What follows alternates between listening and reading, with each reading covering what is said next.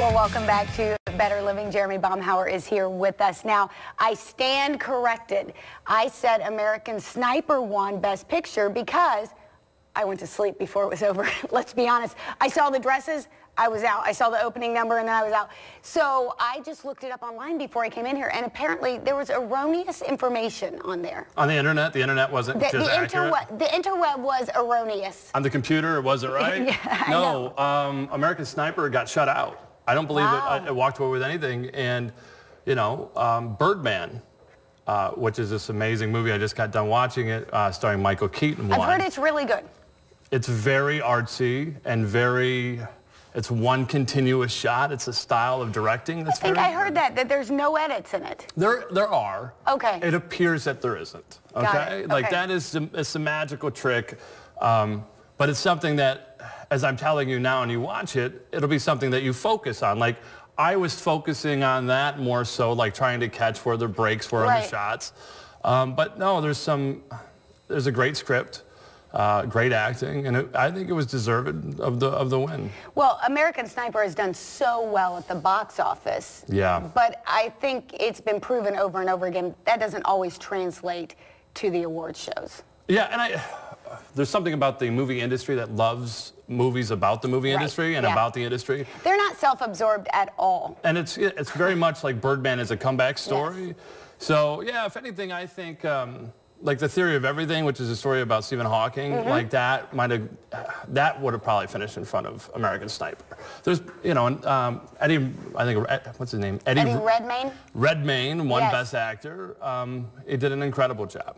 I meant those are the type of Julianne Moore um, killed it with her performance. So they got most of them right, but I think it was boring.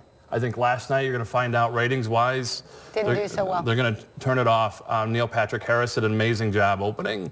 Um, and it just progressively got boringer and more boring and more boring. It's nodding off. I will say that I, I really enjoyed the opening number. Yes. And then I felt like there was very little, except when he came out in his underwear. I did see that part before I went to bed. Um, other than that, there was very little funny. He did a great job, but he wasn't. There was, It he's, wasn't- he's good at awkward. There was a moment where he's on the stage or where he's in the crowd. He was um, having a British joke translated. And, Yes. And he happened to find the one African American British actor that was on the just to like make it awkward.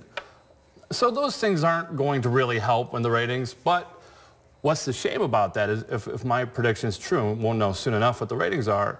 At 11:15 last night, Lady Gaga, who I'm not necessarily a fan of, um, came on and did a Sound of Music 50th. It's the 50th anniversary, and she did a tribute like a medley of the songs. Uh, transitional piece for her. One of those performances that will go down as one of the greatest from the Oscars. So, if you haven't seen it yet, if you're one I'm like gonna have to YouTube it. I was. it's I was five minutes of brilliant. I, it's I can't believe it's her. And She's not weird. She doesn't have that weird boxy dress on, the red gloves.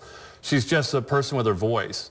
So um, with an orchestra that's really simple, uh, she delivered, and it's um, it's well worth you tracking down on Google to find it. I'm going to check that out. I do want to see it. Well, we talk about all these film-related things with you. Right. Because we have our own film festival here, the Tree City Film Festival, coming up soon. Yeah, the Tree City Film Festival is something that the Sylvania Community Arts Commission does. Um, and it's a, a weekend that we hold in April, and it's uh, the 17th, 18th, and 19th. Uh, the first night is the reason why I'm here. Um, we are going to show all of the live action and the animated shorts from last night. So you saw that, I think, Feast 1, which was the Disney animated Yes. short before Big Hero 6. I'm not I don't know the actual name of the winner for the short um, live action. I have that in front of me. But all the nominated films will be shown on Friday night um, as a part of the Tree City Film Festival. The ticket price is $8. Um, it goes to the local arts. Um, we create our own venue in downtown Sylvania, where in the historic uh, train barn, we erect a, a movie theater. And it's a fun. really, really cool atmosphere. And you, we, we have the adult spirit beverages Yes, libations. the libations are there, and um, it's it's a great way to kick it off. Last year we did it, um, and we had a great turnout. Um, this year we're excited because we're able to pack everybody in the same venue. So we only did one night at the train barn because it's a lot of work. This year we're doing the entire weekend there. So that is just the first part about it, um, of the Tree City Film Festival. We can talk about, I know you got a break.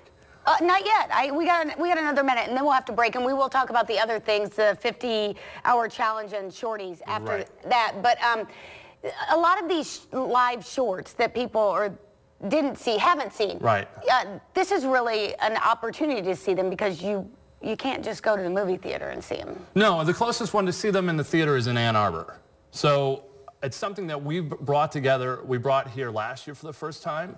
Um, and we were, you know, we're kind of testing the market. We're evolving this film festival. It's the third year, fourth year, fourth year of the film festival.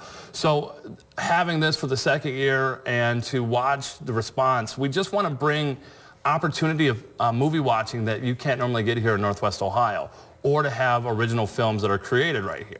So this is a great way to, uh, that we can bring Oscar caliber um, material films uh, back to back, and we'll show the animated portion first. We, so if it's for families, and then we'll um, we take an intermission. We come back. We show all the live action. I'm a little more into the animated. They're all good. It's so am- I just think they're I think they're fun. Yeah, I'm a kid at heart apparently. yeah. They, they don't. We don't have Saturday morning cartoons like we used to Yeah. have. So a lot of that fills that need. But that the live action, the the they're amazing Yeah. stories, told in a very small, minute amount of time. Which I think is what makes them even better stories because it, it has to be masterful writing Right. to get it down into that amount of time. And you're not finding that they're stretching it. You- You, know, a lot of times with movies is they'll try to stretch it for the 90 Right. minutes just to hit that. There's no reason. So these are great um, films that are specifically smaller in length by design. All right, well, we'll talk more about the Tree City Film Festival coming up. Stick with us. We'll be right back.